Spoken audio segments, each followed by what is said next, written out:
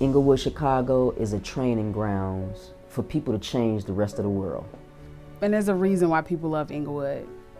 It has a lot of style, it has a lot of history, it has a lot of culture. It's really important that we go outside of our neighborhoods. And I realize in this work, it's not just about issues that affect you. It's about fighting for issues that affect your friends and affect your family and affect your neighbor. And that's again, community.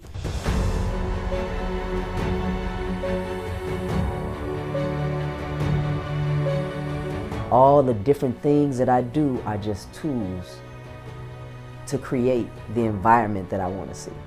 As things turned out and as my career turned out, I'm in a certain position where I can help people economically, I can mentor them career-wise.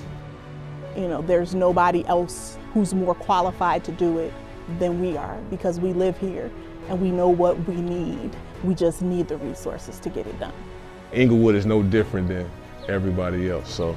When you provide people with what they need to thrive, they thrive, right? It's as simple as that.